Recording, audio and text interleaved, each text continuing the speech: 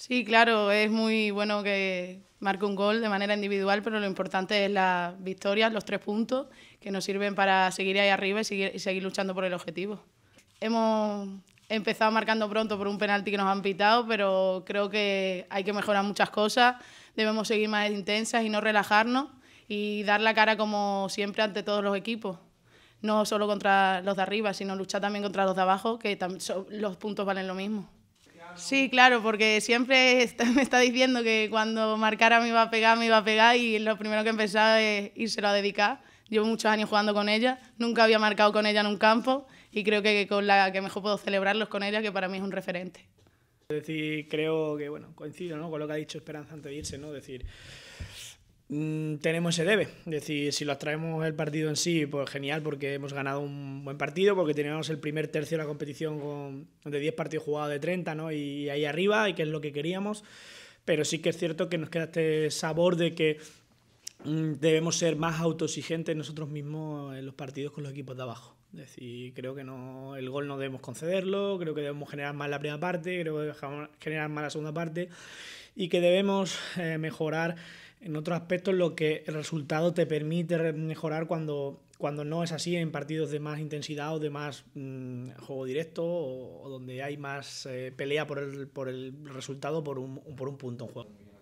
Sí, no, sí, al final no es cuestión de, de, jugadoras, yo creo que han estado bien, que las que han entrado al menos habituales no, no han defraudado. El tema es un poco el que nos ha pasado, ¿no? Decir con Juan Grande, con Tenerife, que son resultados al final todos igual, 4-1, si te das cuenta, pero la sensación es que ese día el Santa Teresa no está a su mejor versión, decir, y, que esa mejor versión solo se alcanza con los con los equipos de los 6-7 primeros hacia arriba, ¿no? Eh, creo que eso nos puede dar un disgusto, como nos lo dio el día de Fermaguín, y debemos aprender de todo, ¿no? Decir, al final tenemos que aprender de los errores, que es donde más eh, materia tienes para, para, poder evaluar y para poder saber qué está haciendo bien o qué está haciendo mal, ¿no? Eh, con lo cual, como te decía, eh, ese es un poco el, el hándicap que tiene el equipo ahora, más allá de que las que jueguen, yo estoy convencida, entrenan bien, yo en eso no tengo ninguna, ninguna queja nunca de las chicas, eh, tienen, pero nos falta, el, como les he dicho a ellas en el descanso antes de empezar el partido, el que el nivel no lo marquemos nosotros y no nos adecuemos al nivel que nos da el rival, ¿no? decir, con todo respeto siempre y con la humildad que, que tenemos nosotros desde Santa Teresa,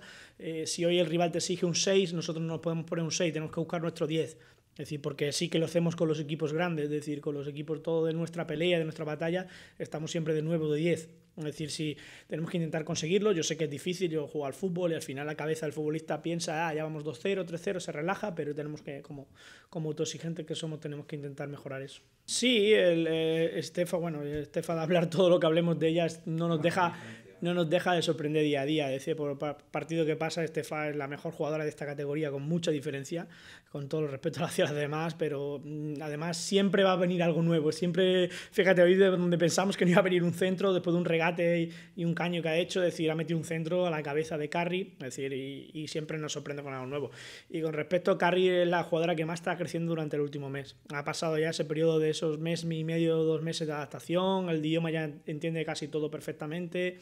se adapta al tipo de juego que tenemos en el equipo, que también es difícil adaptarse porque tenemos una idea muy marcada de juego, porque al final no deja de ser un bloque que se mantiene los a lo largo del, del paso del tiempo. Y es la jugadora que quizás está creciendo más, ¿no? Es decir, pero bueno. Te decía que, que, en líneas generales, en este caso, ni para bien ni para mal, eh, eh, me gustaría hacer balance sobre el equipo y, evidentemente, bueno, eh, los resultados inmejorables, es decir, como somos autoexigentes y queremos siempre un poco más, pues hacer balance de que con los equipos de, de zona media-baja, eh, nos falta ese plus de, marcar nosotros nuestra propia intensidad. Pues eh, yo creo que el equipo está con líder, pero merecería estar líder porque los, los, puntillos que se ha dejado tanto el Levante, que fueron muy superiores para, para haberlo ganado jugando bien, como lo de la mala suerte que tuvimos en, en Fermaguín, creo que el equipo le faltan dos tres puntos que le harían ir líder, pero ya te digo, balance positivísimo en, en, aspecto clasificatorio, primer tercio de campeonato cumplido, no nos hemos decolgado, hay que esperar hoy los resultados del cuarto y del quinto, que parece que, bueno, que le está costando sacar los partidos y mm,